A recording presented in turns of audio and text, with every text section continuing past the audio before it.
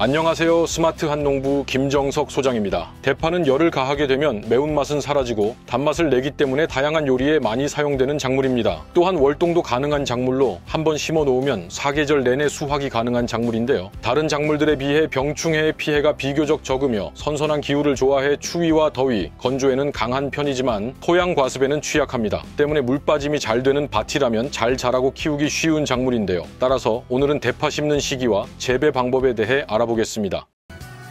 농사를 스마트하게 스마트한 농부 우선 대파 심는 시기는 지역마다 조금씩 차이가 있지만 봄 재배의 경우 3월 초순에서 4월 하순 사이에 파종하고 모종을 심는 경우에는 5월 중순에서 6월 초순에 모종을 정식한 뒤 10월 말에서 11월 중순까지 수확합니다. 가을 재배의 경우 9월 초순에서 9월 하순 사이에 파종하고 모종을 심는 경우 10월 중순에서 11월 초순 사이에 또는 이듬해 3월에 모종을 정식하며 11월 최서 12월 초 사이에 대파를 수확해줍니다. 대파는 뿌리가 깊이 내려가 있기 때문에 월동이 가능한 작물인데요. 일반 일반적인 대파의 종류에는 외대파를 심어주는 경우가 많지만 월동이 가능한 종류를 선택하시려면 조선 대파를 선택해 심어주시면 됩니다. 대파의 씨앗은 근처의 종묘사나 인터넷에서 저렴한 가격에 구매가 가능하니 참고하시길 바랍니다. 씨앗을 파종하는 경우 모종 트레이에 상토를 채운 후 대파 씨앗을 파종해 주시면 되는데요. 발아율이 높지 않은 대파의 특성상 트레이 한 개당 씨앗을 3개에서 5개 정도 넣어주시면 됩니다. 모종 트레이가 아닌 본밭에 씨앗을 파종하는 경우에는 솎음 작업을 편하게 하기 위해 위해 줄 뿌림 방식을 추천드리며 씨앗을 뿌린 후 씨앗이 얇게 덮일 정도로만 덮어주시면 됩니다. 이후 본잎이 2, 3매가 되었을 때 포기 간격 1에서 2cm 정도로 솎음 작업을 해주시면 되며 대파는 비료를 많이 필요로 하는 다비성 작물인 만큼 솎음 작업이 끝나면 포기 사이에 완숙 퇴비로 웃거름을 주시면 됩니다. 이때 꼭 완숙된 퇴비를 사용하셔야 하며 완숙되지 않은 퇴비를 사용할 경우 병해충 피해를 야기하기 때문에 유의하시기 바랍니다. 완숙된 퇴비가 준비되지 않은 경우에는 부식산이 풍부한 휴맥실 액제를 살포해 주시면 좋은데요. 휴맥실 액제에는 대파의 웃자람을 방지해주는 이온규산과 고농도의 부식산이 함유되어 있어 건강한 대파 육묘를 생산할 수 있도록 도와줍니다.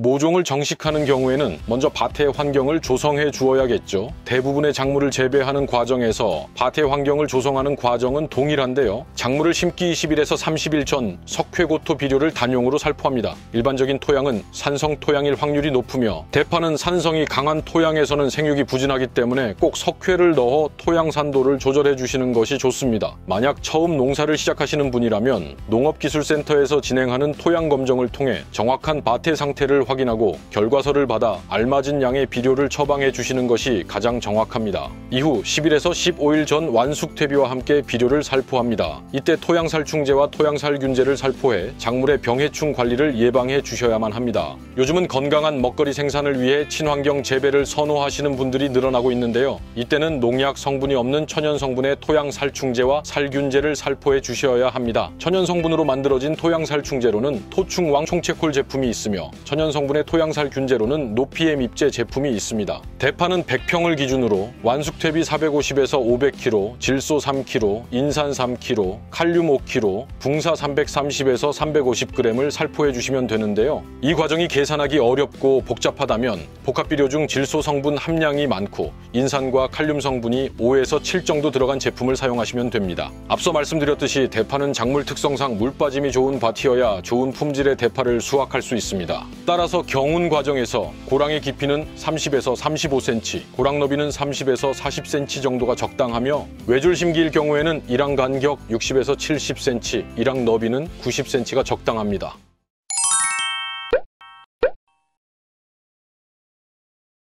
대파를 심어줄 밭의 조성이 끝나면 이제 대파 모종을 정식해줄 차례입니다. 대파는 줄 강력 20cm, 포기 강력 10cm로 모종을 심어주시면 되는데요. 모종 트레이에서 모종을 꺼낼 때는 뿌리가 다치지 않도록 조심히 꺼내고 포트의 높이만큼의 구멍을 내어 심어주시면 됩니다. 모종을 구매해서 심어주시는 경우 좋은 대파 모종은 줄기가 10cm 정도 자라고 잎의 색이 녹색이며 잔 줄기가 적은 모종을 선택해 주시면 됩니다. 만약 모종의 줄기가 너무 길게 자랐다면 가위로 10cm 정도만 남겨두신 후 잎을 잘라 심어주시면 됩니다. 모종을 다 심어주셨다면 뿌리가 잘 활착할 수 있도록 물을 충분히 주시면 됩니다. 물을 주실 때는 EM과 같은 미생물 비료 또는 해조 추출물을 희석하여 1회 정도 살포해 주시면 뿌리 활착에 도움이 됩니다. 이렇게 봄밭의 대파를 정식하는 과정이 모두 끝났는데요. 대파는 효과적인 잡초 제거와 병충해 적기 방제가 매우 중요한 작물입니다. 대파는 고자리파리의 피해가 자주 발생하는 작물이며 고자리파리는 유충이 팥뿌리에 붙어 작물이 말라 죽게 하는 해충입니다. 그 외에도 파굴파리, 녹병, 녹균병,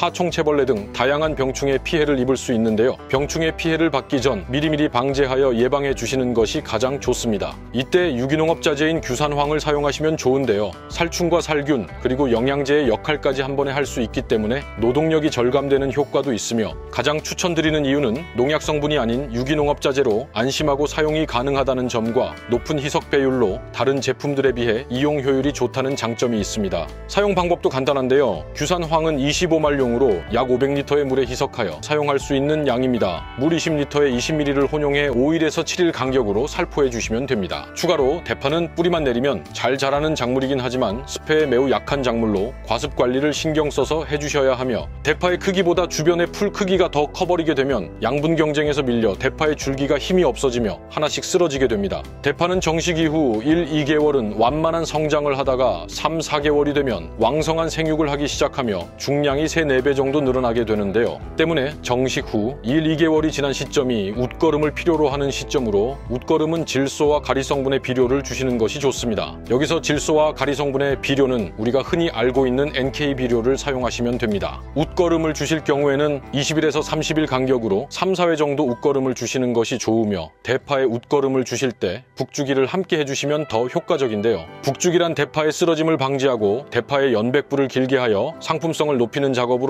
보통 3, 4회 정도 북주기 작업을 해줍니다. 정식 후 30일에서 40일 정도 지났을 때 처음 실시하고 웃거름을 준 뒤 5cm 정도로 북주기를 해주시면 되며 두 번째 북주기는 첫 번째 북주기 이후 한 달 뒤 2차 북주기 작업을 해줍니다. 이때 2차 웃거름을 주시고 10cm 내외 정도로 북주기를 해주시면 됩니다. 그리고 마지막으로 수확 전 3, 40일 전에 마지막 북주기를 해주는데요. 이때는 대파의 생육 상태를 확인해보고 웃거름을 주시면 되며 잎에 갈라진 부분이 10cm 정도 덮이도록 깊게 북주기를 해주시면 됩니다. 북주기를 너무 일찍 하거나 많은 양으로 덮기를 하면 생육이 늦어지고 너무 늦게 하거나 얕게 해주면 연백부가 자라지 않아 품질이 떨어지게 됩니다. 오늘은 대파 심는 시기와 재배 방법 그리고 병해충 관리와 추비 주는 시기 방법에 대해 알아봤는데요. 처음 농사를 시작하시는 분들이나 초보 농부님들의 경우 용어도 어렵고 병충해에 대한 피해도 판단하기 어렵기 때문에 직접 농사를 짓다 보면 쉬운 게 하나도 없습니다. 그래서 저희 스마트한 농부에서는 스마트한 농부 밴드를 운영하여 농사를 짓고 계시는 분들과 서로 소통하고 정보를 공유하고 있으며 공동 구매를 통한 이벤트도 진행하고 있는데요. 언제든지 가입하셔서 궁금한 점을 여쭈어 보시거나 이벤트를 참여해 받을 수 있는 혜택들도 많으니 많은 관심 부탁드립니다. 저희 스마트한 농부는 농업에 관련된 다양한 정보를 알려드리는 채널입니다. 곧 있으면 구독자가 20만이 되는데요. 스마트한 농부 채널을 구독하고 시청해 주셔서 감사합니다. 좋아요와 구독 한번 눌러주시고 더 많은 정보가 필요하시면 댓글을 달아주세요. 영상을 제작하는데